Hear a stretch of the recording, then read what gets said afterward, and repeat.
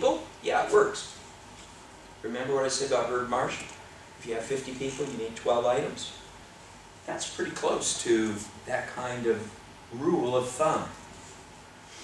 Uh, we have a question, in this changed model, so you have, uh, loadings, which is, for example, zero point twenty-seven, which is uh. Pretty low, so you could go, this model might run, it might be legal, but it might not fit very well. And if you wanted to play with it, you could go around killing problematic items. But for the purposes of the, thank you for giving me this data, let me tell you something about it. This worked, it made sense, and it was okay enough for just a technical report to my participants. Does that make sense? So that never got published in an article because N was 82.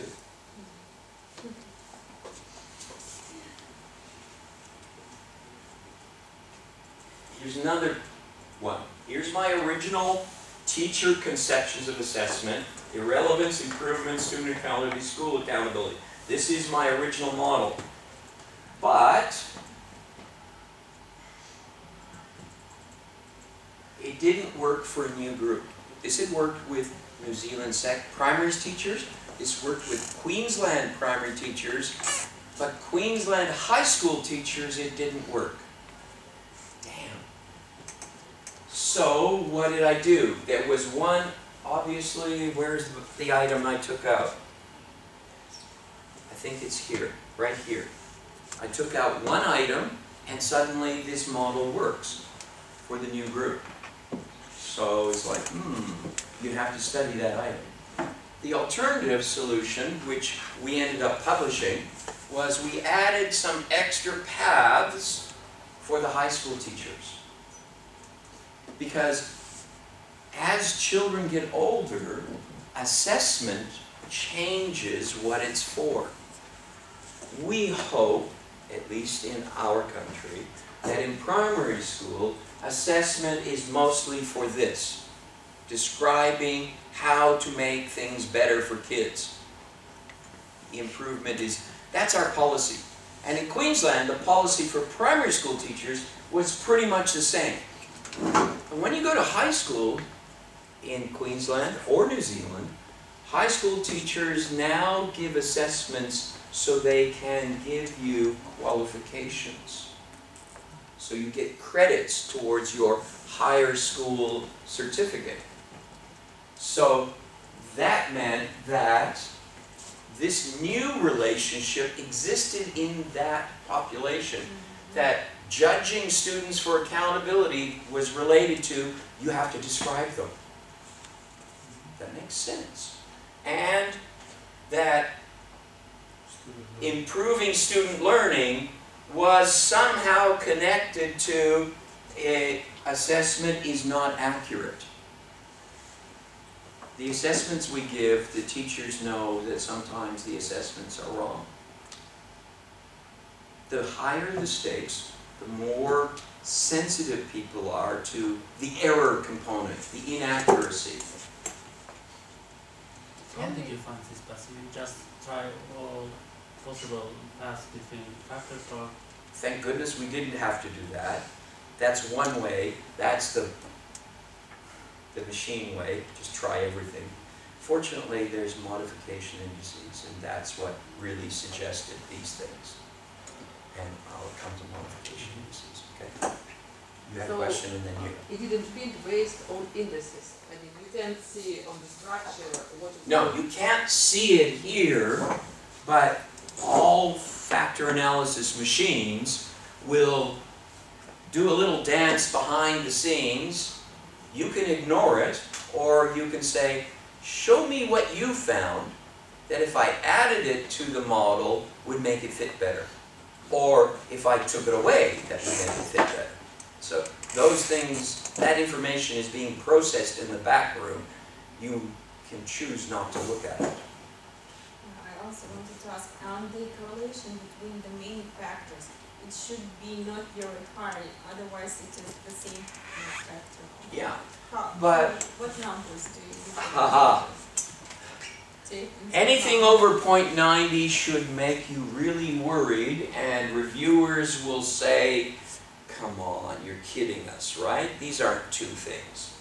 So you would have to do an analysis that says, I put them together, I pulled them apart, which one's better, and can I explain why? One of my students, her thesis had very strongly correlated factors, but we argued to keep them, and the reviewers accepted that, The correlation was high. point ninety-three. But they were sufficient, that we ran the model both ways, and it worked better by keeping the two factors, even though they were highly correlated. So, reviewers will ask you the question, examiners will ask you, how do you know it isn't one?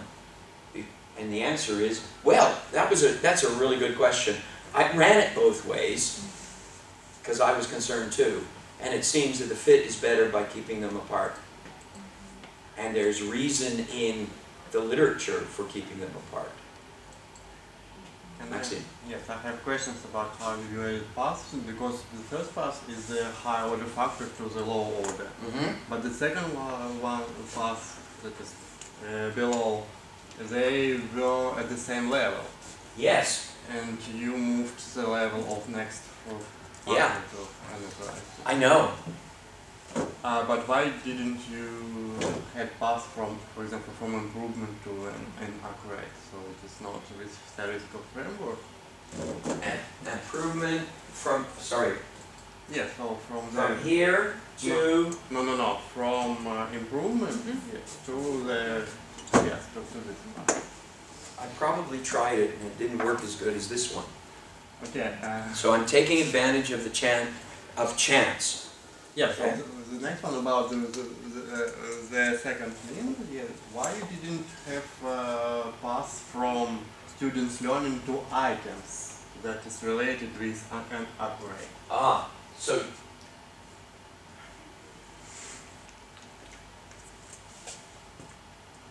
this is many years ago now, so my, my recollection is I was trying to keep each of the first order factors simple structure.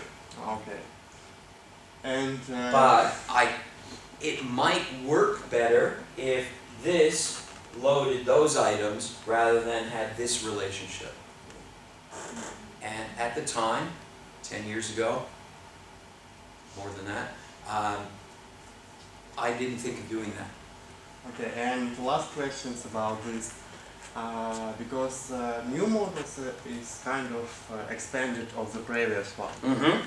Yeah, because this is for new uh, uh, extended, uh, because this is for new group, for new population. But did you try this new model to your old population?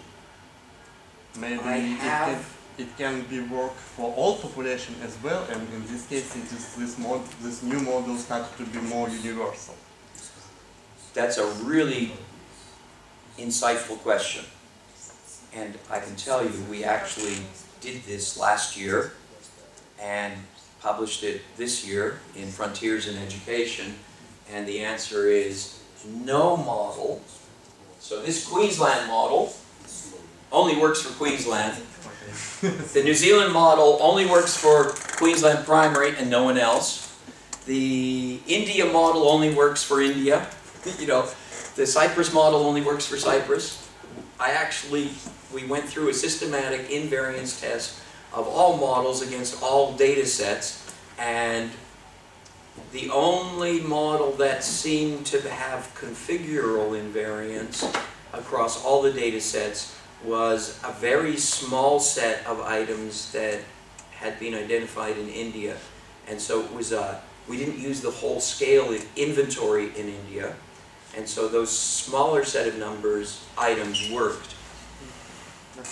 And what I conclude from all of this in cross-cultural research is inventories don't travel very well.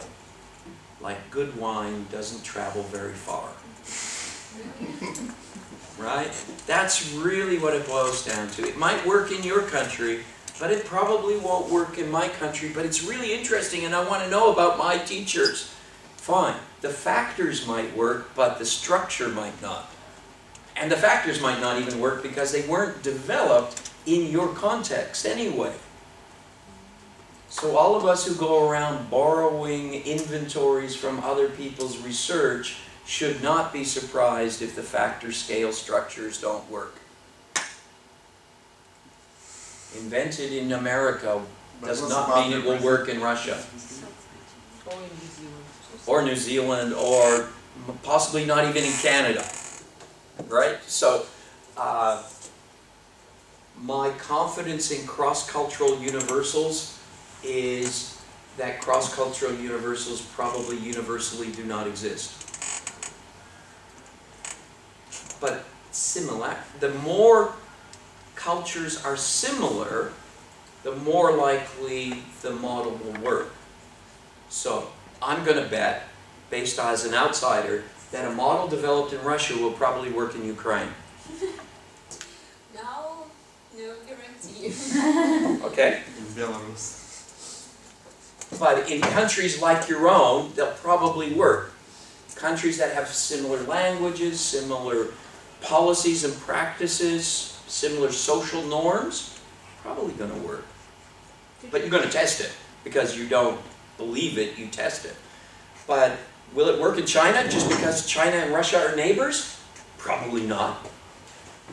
One of the things that I've been finding with my cross-cultural research with student beliefs about assessment is there is a lot of similarity between China, India, Egypt. And what do they have in common? It's not Confucius, it's exam systems. High stakes exams for selection and oh, opportunities and a high destruction rate of losers. When countries like that, attitudes towards assessment become very similar. Not because of shared cultural, social norms, but because of we use exams to select people for opportunities and we use exams to reject people. And exam societies, teacher values, student values tend to be very similar because of exams. Even if the exams are done differently, whether it's a three-day exam for Zhongkao or however, Gaokao, sorry, or however Russia or Azerbaijan does university entrance selection, if you use exams, you'll expect to see similar attitudes, beliefs, practices. It's the policy practice that, not the historical cultural norms. You know, it's not a question of having the Russian soul or mm-hmm. German romanticism or Chinese imperial mentality. It's got to do with we give you exams and if you don't pass or you're not in the top 10, you're a loser. That brutality makes everything the same and separates you from us. Okay, one of the ways to get rid of an inadmiss- inadmissible solution is to parcel, to group things. So we started here with a large number of people, and I showed you yesterday that this model had 22 people.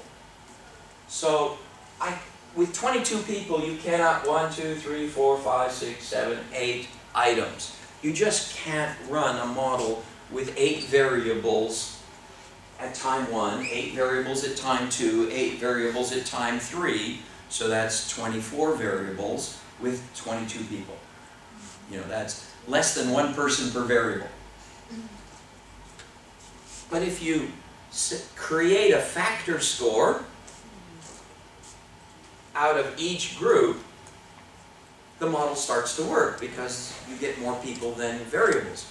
And what I want to show you here is this was correlation was 57 and now it's 55. Like the difference of 0.02 between friends that's nothing. Right?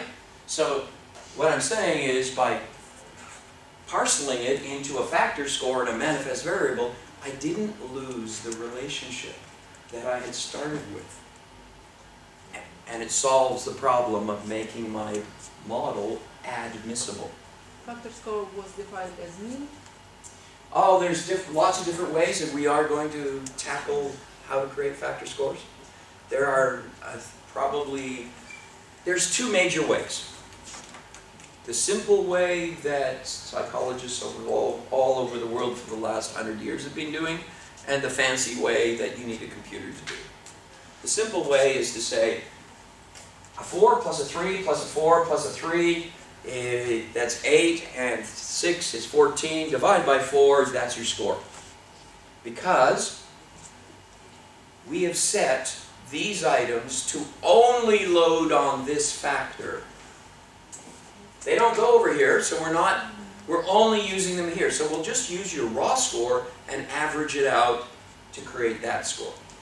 That is the most simple way, and I have published in Learning and Instruction using that approach. And almost nobody in the psychological education world will care. The stat geeks will go, oh, this is not good. And I'm going to show you how to create a stat geek supportable score in lavaan using the Bartlett method where you multiply the score by the weight and uh, get a total for that.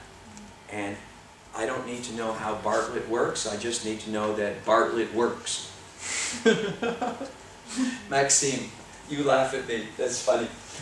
He's a mathematician, he probably knows how the Bartlett factor score system actually works. Hey, I'm more interested in the substance, the so what question, right? And I, I read the literature and it says Bartlett is best. So, okay, how do I do Bartlett? Ah, there it is. Let's do that. Um, I, I want to ask about um, residuals. So we see that for some indicators we have rather high residuals. And also I would like to understand like Mars and overall that can we correlate residuals within one factor, not like between different factors to improve the view. I mentioned this yesterday, and you're seeing me break my recommendation. Two manifest variables that are predictors in a model cannot be correlated directly. You can't correlate two manifest variables. But every manifest variable has an error component. If you put the error, the compo, the covariance on the error component, that is conceptually identical to correlating the factor structure.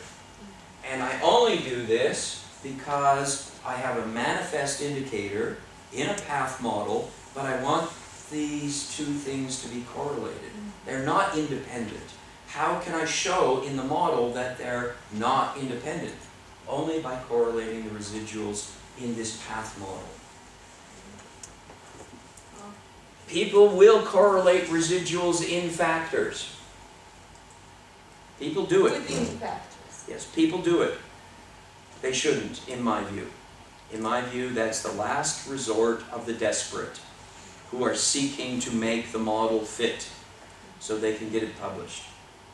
But I have just rejected an article at Frontiers in Psychology because they had really low scale reliabilities, 0.30 something, but had a super good fit in the model in the confirmatory factor analysis. And the editor said, Can that happen? Is that, Gavin, is that fair? And I said, Well, it looks like they might have correlated the residuals. But they didn't tell that in the paper. Yeah, and if they had told me, mm-hmm. I would have rejected it anyway. because there's no good reason to do it except to inflate fit. Except in certain situations where you say, I have to correlate this because they are meant to be correlated. But these are between factors, not within. Yeah, because there I'm trying to mimic this. but I don't have enough data to do this. I did this with uh, 180 people. Now I only have 22 people. How can I copy this relationship with not enough data? Okay, parcel, parcel, correlate. Some people go, oh, well, you just go regress, regress. That's really stupid. Just correlate.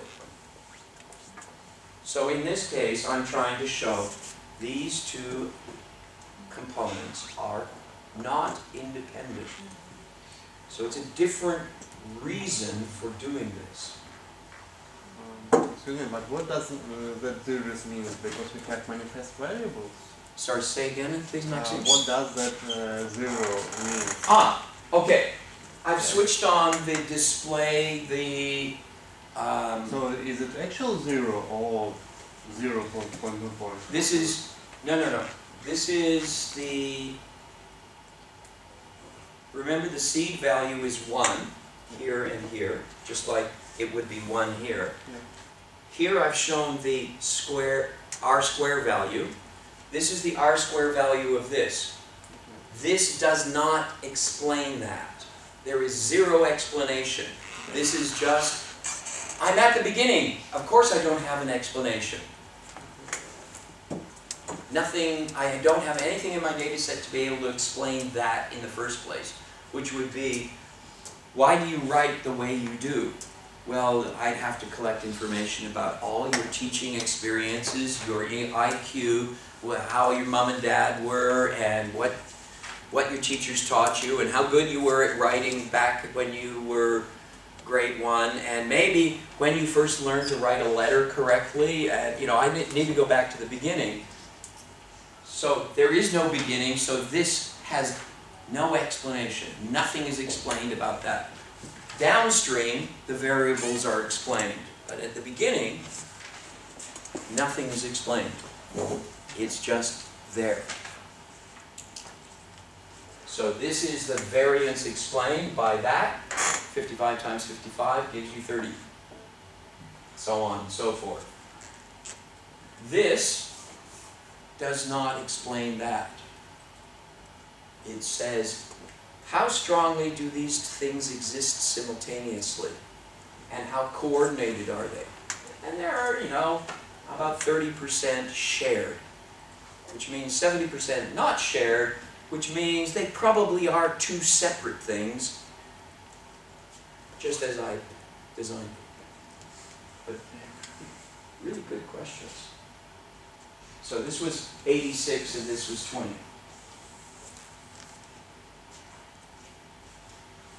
If a solution is recursive, recursive means, do you understand this word?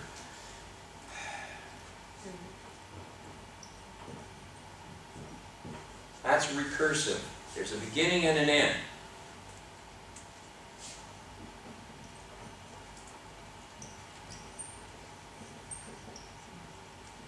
That's not recursive because it goes back on itself. This is bad. Factor analysis assumes that your models are recursive, that they go in a straight line, that there is a beginning and an end, and the end is not the beginning. It's the name of isn't it? The beginning is not. Here's what I do. I tend to take away paths and items that are not statistically significant if the factor can support it and I think there's still enough explanation in the A factor. Items that have high attraction to logically inappropriate factors. In other words, it's not simple structure item. Item 5 wants to be on factor 1, I have factor 2, and factor 5. What? Maybe the problem is the items says something that makes it sticky.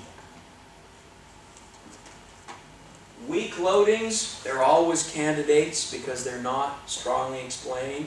And if you want a good model, everything over 0.40 is probably going to give you a better chance of saying this model fits the covariance matrix. Correlated factor models are usually the easiest to get fit. Why? Because everything in a human mind is correlated with everything in a human mind. And the human gave you answers on the test or on the survey, and what they think about X influences how they feel about Y, which is part of why they do Z. Everything is correlated in the human. So this would probably be the easiest model, but it's also the least interesting model if you're trying to make a change in society. If I want to use my data to try and make a difference, I have to know the causal path, where the levers are that make things happen, rather than just say, oh, I can't do anything, everything is just correlated, it's out of my control. So why are we paying you so much, you know? Or maybe in Russia you don't feel like you're getting paid very much. You can collapse factors, join them up, and you can parcel factors into scale scores and everything becomes simpler. Can I about collapsing factors? Because you can also add a high order factor. Yes, and I'm going to talk about higher order factors, absolutely. You could treat it as, well, instead of joining them like I did, I went, this one explains that one. Again, it might solve the overcorrelated factors problem. Um, but in a cross-sectional survey, reviewers will say, yes, but your design isn't causal. Why are you using a causal model in a non-causal data design? And you have to make an argument.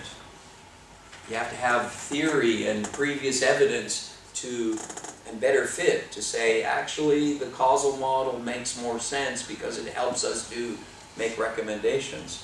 And it creates, it's not proof of a causal model. A statistical causal model that fits well is not proof but it allows you to say, in future studies, we're going to experimentally test these relationships. Um, Promising. Yes. This is the direction we think we should go. And a, a PhD student who does study one survey finds that interesting causal model. Study two goes out and finds people at extremes, and study three manipulates them or treats them in some way. And hey, their scores move in the direction according to the model. That's a good PhD. I had one student who was almost on the verge of doing that, and he said, you know, I don't want to be a student anymore, I'm 55 and I can't be bothered, you know, I'm going to go just carry on being a teacher.